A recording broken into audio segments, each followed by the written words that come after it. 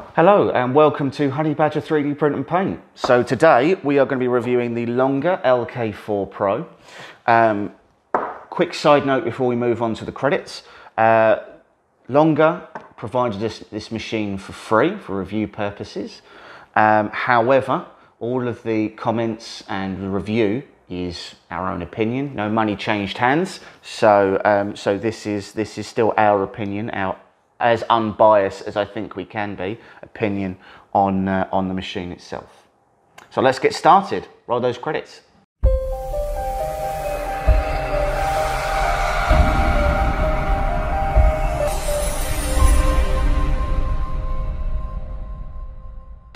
Okay, so before we start, um, let's address the obvious. Yes, it is essentially another Ender 3 clone.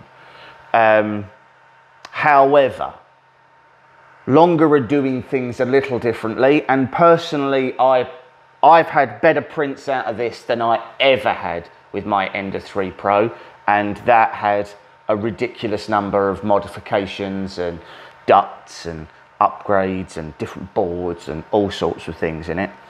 Um, and I'd actually challenge that this is slightly better than the new Ender 3 V2 that has come out as well. So let's start with the, uh, with, with, the stats. So it's a 220 by 220 by 250 build plate. Um, it can actually print a little bit outside of those, I know, because this is 252 mil high um, and it printed that just fine. Um, the hot end is, for all intents and purposes, exactly the same as an Ender 3, except they've gone for a bit of a different cooling duct on one side. Um, it's worthwhile noting that that is still single direction cooling, so it only cools from the right. It's not a, a, a sort of like the same as doing, say, a um, like a bullseye or a fang duct or a Petsfang or something like that. Um, so good maybe could be a little better, but frankly, the print quality I'm getting, absolutely brilliant. Um, the build surface is glass, but it has a PC sheet on it. Um, if anything, I have found this sticks too well. So the problem I'm having is um, I'm having to print with a raft because I'm actually, even once the build plate has cooled down, I'm actually having to hit the raft with the spatula that's included um, because it, it's so welded to the build surface. I haven't put anything on this. I've done no hairspray. Um, those who watch the channel know that I don't use any of the glues or painter's tape or anything like that. It's just the regular build surface. I'm using PLA filament and super adhesive, super adhesive. Um, I put a little picture up in the corner of what you get in the box. So you get your spool holder, you get a little bundle of um, Allen keys, you get a little wrench, you get a little USB key with your SD card, you get your mandatory spatula, and you get four bulldog clips as well. The bed, as I said before, is glass, but it is removable. Um, obviously you can't bend it, which isn't great, but it does mean that if you wanted to fit, say, a wham bam sheet or something like that, absolutely you can do that. Um, the bed says that it's a fast heating DC plate. Now, it's not a silicone plate for sure, um, but it, it, it, heats up quick enough. Um, 2208 drivers in there, so nice and quiet, although um, I think they're running in standalone mode, um, not uh, so you're not going to be enabling stealth chop and sensorless homing and things like that. Um, they have got an all metal extruder head on the back. That is pretty standard now. It's got a filament runout sensor. That filament runout sensor is optical, not physical. So um, most filament sensors are just basically an end stop switch um, that they put through a tube and as the when the filament triggers the switch, it, it's empty. This is actually optical, similar to the one that's on a Prusa, um, and they actually give you a spare as well. So I don't know if the assumption is that it's going to break or that it's going to wear out at some point. Obviously, I've not done anywhere near enough hours for it to do so, so it's working fine. Um, it comes pretty much assembled, so you um, put your gantry on, you put the X gantry on, and that's it. The, uh, the you, you put your bars in, pretty much it. Everything's nice and tucked away, so there's a separate box to the AC supply. This is something that I really like to see in 3D printers. It shows a degree of thought around um, around how you lay out the electronics. It's not just oh, and then we've we've, we've forgotten we need to stuff the electronics in something. Um, I think you should always do whatever you can to keep the power separate from the board. So AC on this side or AC DC on this side and then your board and electronics on this side. Um, it's something that's also present in the artillery sidewinder as well. So the artillery sidewinder has a cross beam across the middle. The top section is the power supply and solid state relay for the bed and then the bottom section is the screen and the, uh, and the electronics. They're materially separate. So if you need to work on one, you don't have to worry about the other one. So I really like that. Um, interface is uh, the regular printer USB port and, um, and a mini SD card, as I said before, you get uh, with the machine. This spool holder is metal and nice and sturdy. I don't use the spool holders that come with my machines. So the reason why is I don't put any extra stress on my gantry than I need to. I think it's going to increase wobbling, increase vibration. I don't do it. Um, all of my spool holders are either wall mounted or sit next to the machines.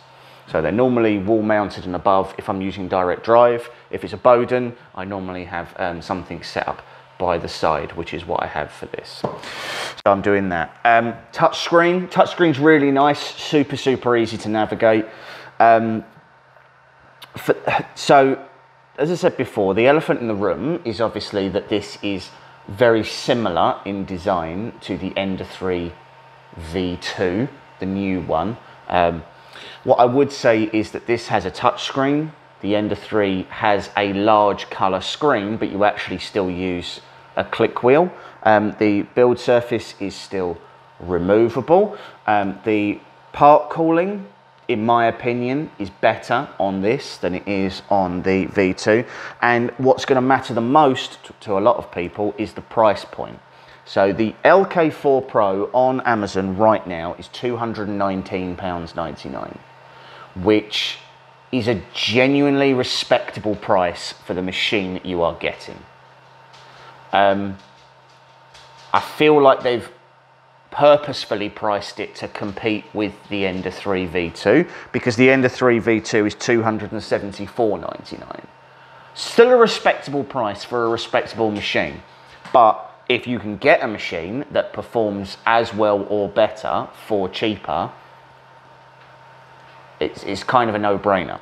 So I'll quickly show you some of the um, prints that I have done so far.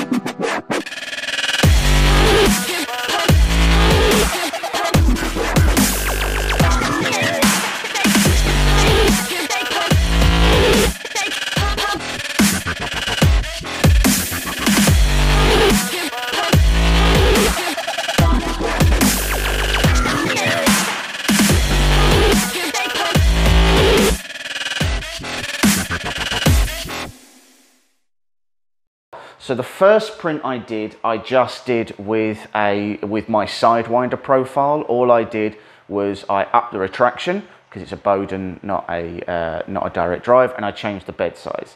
And this is what we're looking at for a calibration cube, which I'm going to be honest, for a profile I have not tuned, that is very nice. Nice and clean on all sides really good. So then we did the obligatory benchy. So the benchy here, you can see that that is nice and clean. A few zits here where we need to tweak our retraction a little bit, but nice and clean. I don't know if you can see that, like the, the uh, chimney is really nice. The overhangs are really nice a really nice print. Um, then I went for something a little larger. So at the moment I'm doing a uh, an alien model and this is the hand for it. So this was near enough the full volume of the, of the machine. So you can see this is as it came off. Really, really nice. Very happy with that. I feel like you can tell a lot about a printer company about whether or not they lie about their machines. So some companies do. Um, some companies will tell you that you've got a build plate of a certain size, but you can't actually use the full volume of that. Um, let's go and sit back down. Um, so this one says that it is 220 by 220 by 250. Um, you can actually print a little bit outside of that. So this print here is actually 252 and I had a raft on the bottom of that as well, which was a couple of mils. So I was probably about 255 when this was, uh, when this was done. Uh, and it all printed, nothing, nothing crashed, nothing collided, nothing like that. Um, I have got a video of the calibration cube printing as well, so I'll put a little time lapse of that on at the end. Um, genuinely, I, I am really impressed with the machine. I'm very impressed with the quality. Um, and I, you know, I, am very impressed with the way that it's, you know, with the, with the way that it's um, that it's performed. It's it's been easy to use, easy to pick up, easy to configure, and the results speak for themselves. It's producing very good quality prints. These are all done at a 0.2 layer height, so we're not doing anything, you know, crazy low layer heights to produce these results. Um, they are, it's just a really solid printer. Um, there's no flex in any of the uh, there's no flex in any of the um, axes or anything. I'm not a huge fan of single Z machines, but saying that, this doesn't really have any problems with it. I mean, this is static now, and you know that's that's not moving. Um, I would recommend this over the Ender 2, Ender 3 V2. Um, it's cheaper, it's got a touch screen. Most of the rest of the specs are pretty similar. The part cooling is good, um, all the cable management is good, the installation is easy. It's a great machine. Um, this is quickly turning into one of my favourite machines to print with and it is definitely turning into or has turned into a click and forget machine. A machine where you just put a print on and off you go. You don't have to watch the first layer go down. You can just bosh off you go done. Um, so yeah so i'm really I, am really happy with it. Um, look and feel feels pretty premium I like the fact that they've done the, um, the flat caps over the uh, extrusions. I think that's quite, uh, quite sleek. Uh, you can mount your screen either side. So depending on how your workshop or work area is um, set up, you can, uh, you can sort of flip those, those around. Um, yeah, great machine. Genuinely really impressed with it. So um, that's that's it. That's final thoughts, really. It's great machine at a great price, um, and, and, I genuinely recommend it. Um, my Sidewinder is probably still my favourite machine, but to be clear, this probably prints a little nicer than my Sidewinder, actually. Um, It's just the build volume. So because of the size of the models that I do and the types of models that I do, um, there's parts that I can do on this, but not everything. So I can load up the build plate and print a bunch of stuff, but I can only really print a bunch of small stuff. Um, the Sidewinder being 300 by 300 um, just gives me a lot more versatility than, than, than a printer of this size. But most models are sliced to, um, to, to fit you know, um, to fit an ender size machine because it's so popular. So I don't really suppose it's much of an issue for anybody. If anybody was starting out in 3D printing, this is a great machine to get. Um, I say the touchscreen's nice and easy to use. It's super easy to put together. Um, everything's tucked out of the way, and all the wires. Um, you know, you can't can't do anything wrong. Everything's labelled. Really, really good. Genuinely impressed. So uh, join us soon. We've got some uh, more reviews coming. So uh, we will be reviewing a Prusa i3 clone. Um, this isn't like a, a, an clone or something like that, where they've just taken the i3 and they've sort of modified it. This is a direct clone of a, of a Prusa from, um, from AliExpress. We have a Jenny printer coming. So um, Jenny Printer 4, the Z370 I think it is, it's an Ultimaker clone. Um, and it, I mean, it looks exactly like an Ultimaker. Ultimaker, the new Ultimaker 3 is like, I think it's about three and a half thousand pound or something like that. This was 850 quid. Um, I, I it comes as a DIY kit, and, I, and when I say DIY kit, I mean DIY kit. Um, let's just turn this off because the fan's a little loud for my liking. Um, so when I say DIY kit, I mean it comes with panels and cables and a board, and you have to build it, assemble it, and, and do the lot. Um, so that's going to be a really interesting one. Um, so I'm going to do a live stream of us building the Jenny printer because there's no real instructions on how to build it. Um, so that could be quite interesting and long. Um, and obviously we'll be doing a review of the Jenny printer once it's once it's up and running as well.